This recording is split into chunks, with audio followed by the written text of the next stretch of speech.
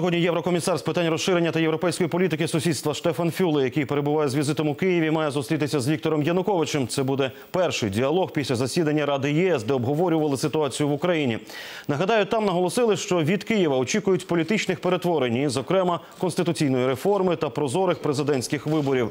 У відповідь на реальні, а не формальні реформи Київ може розраховувати на фінансову допомогу.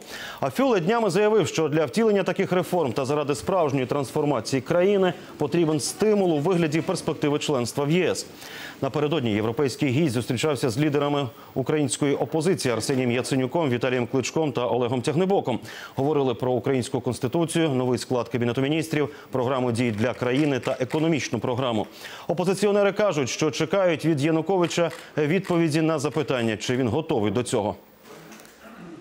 Знаходження компромісу. Але найважливішим питанням знаходження компромісу не тільки з опозиційними силами, з тими людьми, які на сьогоднішній день знаходяться на вулицях, е, з тими людьми, які е, вийшли на вулицю і є демонстрантами для того, щоб зміни в країні відбулись.